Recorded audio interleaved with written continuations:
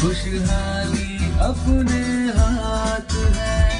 हर किसान की समृद्धि अब एच के साथ है।